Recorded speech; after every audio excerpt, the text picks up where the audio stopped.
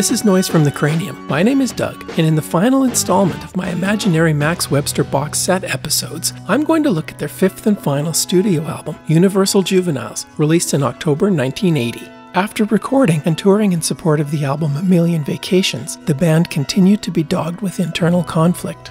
Keyboard player Terry Watkinson quit in the spring of 1980, replaced by David Stone, who had played with Ritchie Blackmore's Rainbow. This now left Kim Mitchell as the last man standing from the lineup that recorded their first album in 1975. Once again, Kim would dig into the band's back catalog of unused material, this time to resurrect a couple of songs that they had been playing as far back as 1973. My box set would include a comparison of how the band tackled these songs over the years. Check out the slightly slower version of Blue River Liquorshine from a 1975 recording.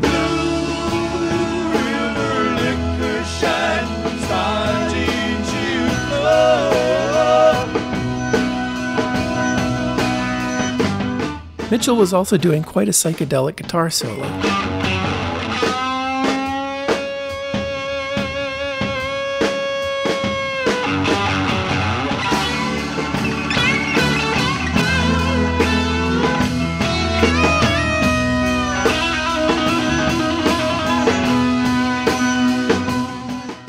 1976, the intro featured a cool organ workout by Terry Watkinson.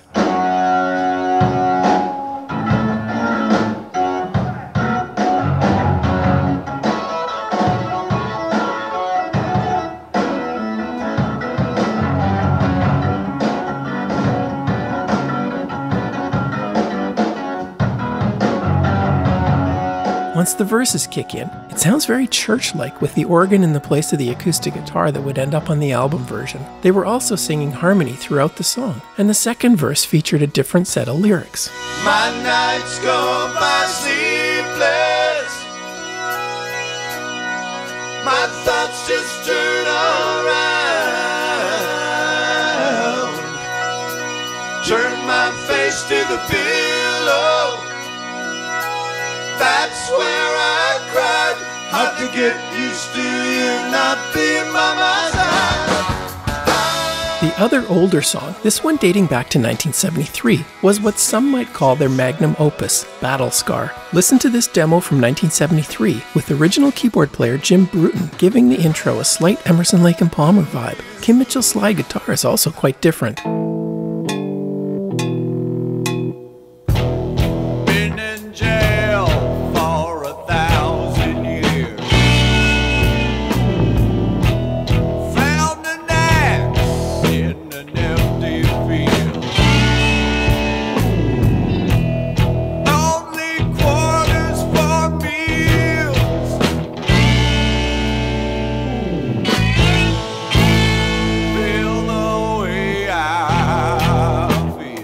Later on in 1973, when playing the song live, Bruton expanded on his ELP intro. Also, fairly typical for the 70s, Kersey used a cowbell in the intro.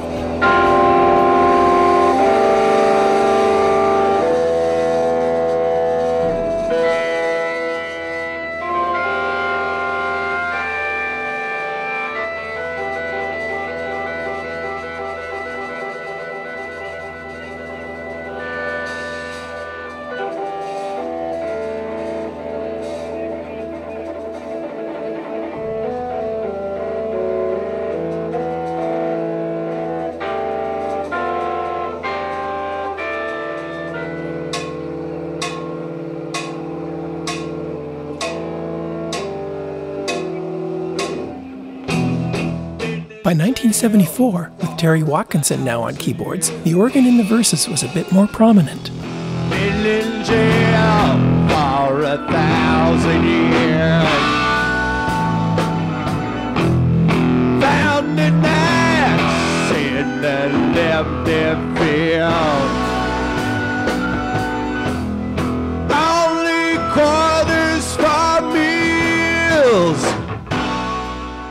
Kim put the song on hold for a few years, but started playing it live again in 1980, with a slight change to the lyric, found an axe in an empty field, becoming the more familiar found a fist.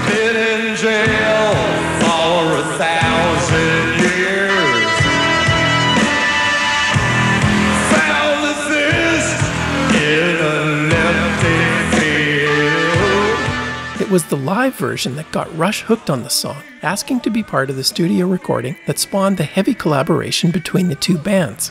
In January 1980, the band demoed a number of songs in the studio. Aside from the two songs that they would include on the real Max Webster box set, the other four songs provide a very interesting listen and would be included in my box set for sure. It's particularly interesting to hear Terry Watkinson on these songs, as he was out of the band by the time they recorded the album. Here's Chalkers with a more complex guitar keyboard hook that they repeat instead of the one off subtle guitar hook.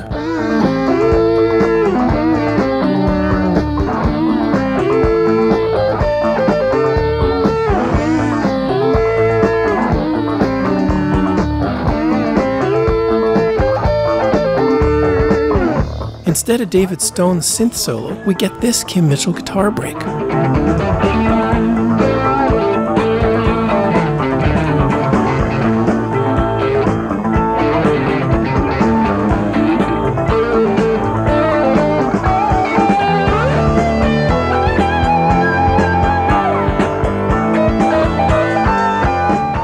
At this point, Check was mainly instrumental, but still sounded pretty heavy.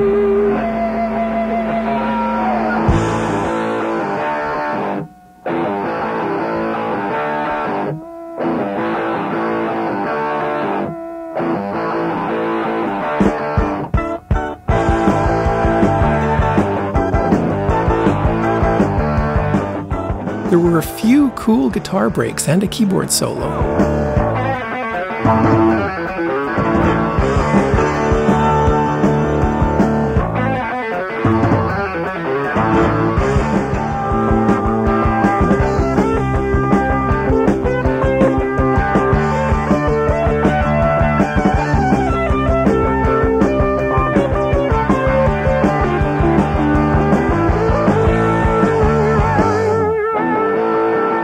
Sylvana is an instrumental by Gary McCracken, with another great solo by Mitchell.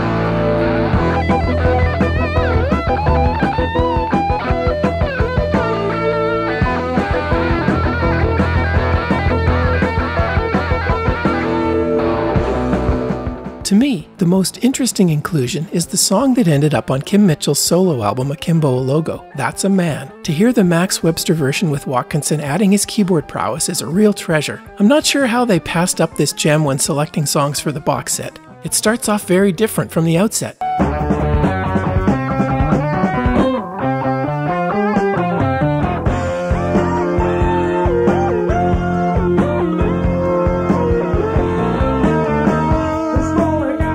Then we notice Terry Watkinson's keyboard hook in the chorus. Now that's a man.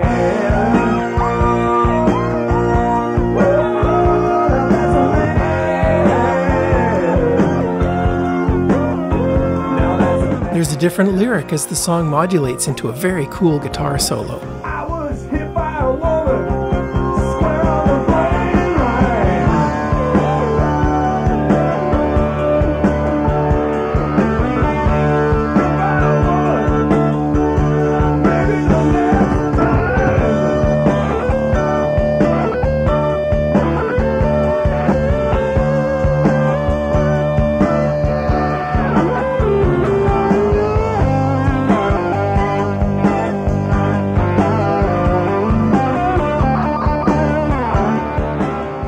Would include a number of excellent live recordings from the last couple of tours before the band finally called it a day in April 1981. This FM broadcast from a year earlier in Barrie, Ontario, shows the band in full flight, with David Stone having only just replaced Watkinson. Once again, they are road testing a few songs prior to recording the album. Have a listen to Drive and Desire.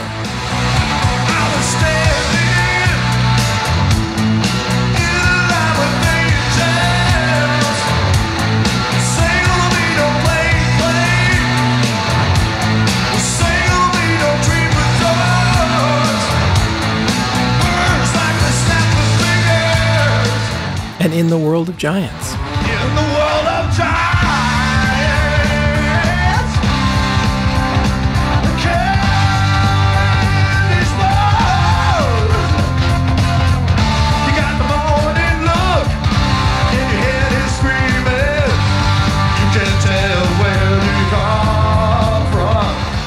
Following the recording of Universal Juveniles, bassist Dave Myles and keyboard player David Stone quit, replaced by Mike Gingrich and Greg Chad, respectively. During the ensuing tour, Chad was fired and Terry Watkinson was brought back into the band. They also added a second guitarist, Steve McMurray, to augment the sound. This live recording of April in Toledo from March 1981 highlights this version of the band, a month before they imploded.